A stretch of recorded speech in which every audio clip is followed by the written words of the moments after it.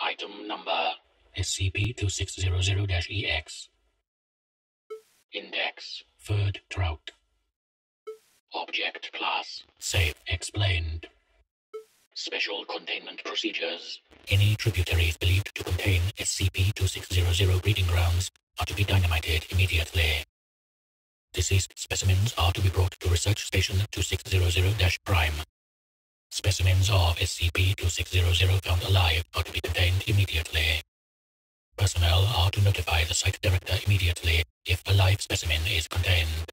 No special containment procedures are needed for SCP-2600-EX at this time.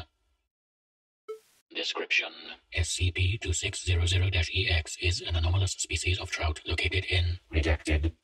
The trout are psychologically identical to speckled trout, but have shaggy white fur covering 90% of their bodies.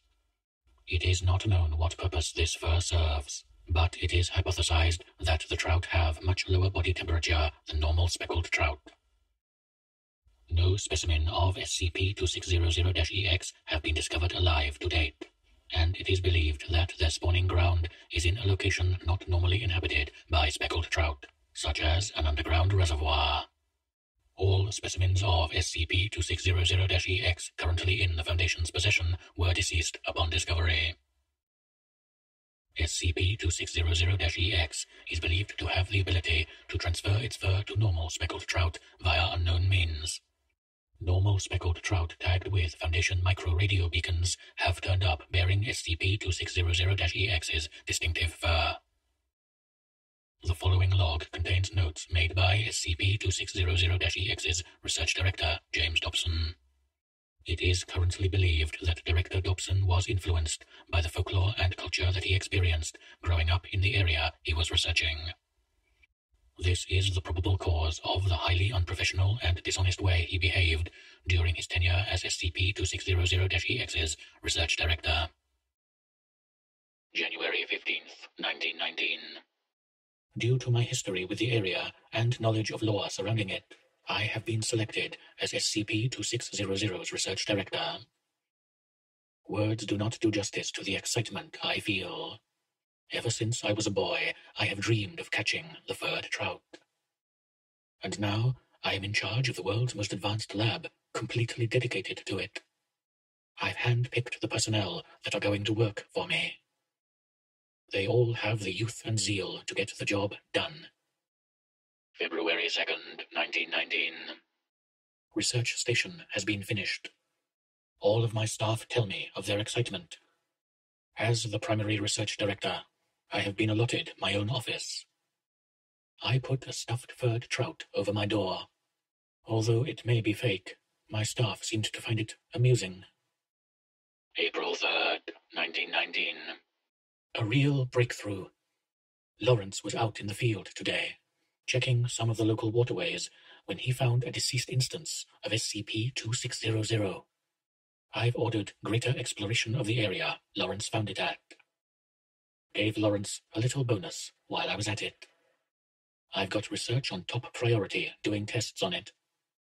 We'll have our data soon. And to think, I was starting to get discouraged. June 21st, 1919.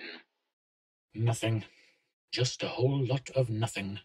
That's all we got from the tests. No major differences, no anomalous properties. Just a trout with fur, and right before our annual review. I will have to come up with a solution, quickly. August 8th, 1919. I can't believe I did it. But I had to. We're just so close to achieving a breakthrough. I couldn't have let them take my team apart. I had Byrne draw up some speculative research, but it's okay. The review period is over.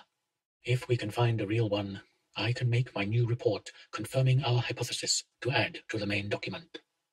I have faith that we will be okay. November 1st, 1919. Nothing. Still nothing. None of our results gave us any new data. It's like we've been sitting on our hands for months. We had nothing for the document.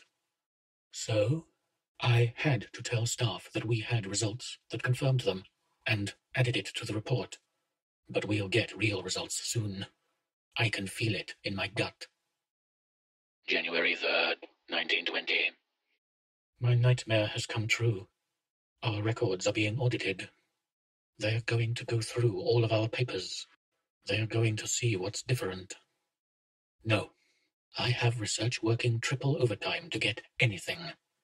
All my agents are in the field looking for the possible spawn points I mapped in the document. We can't fail now. I just can't. February 17th, 1920. I've ordered agents to start dynamiting the places I marked as spawn points. They can't use it against me if I put it out of commission. I can explain it. I'll say they got dangerous. It'll work. I'll be okay, be okay, be okay. I need to be okay. March 3rd, 1920. I think it's over. I'm sitting in this tiny office. They have the records. I know that any day now I'm gonna get that call. And I'll sit in a tiny cell. And they'll ask me about my research. Blast, I can't do it anymore. I'm downing patent medicine in bulk. My staff knows the truth of what I've been up to. I think everyone hates me. I'm going to lose everything I've been working to. I didn't do anything to hurt anyone. I just wanted truth. Notice to all personnel. Director Dobson has been relieved of his position. Our investigation found a ring of researchers working with the director, falsifying research documents and manipulating data in order to justify further research. As of now, our data shows SCP-2600 is nothing more than a fungal infection. It has been designated. Explained. You will all be receiving relocation notices to projects more worthy of your time. 059.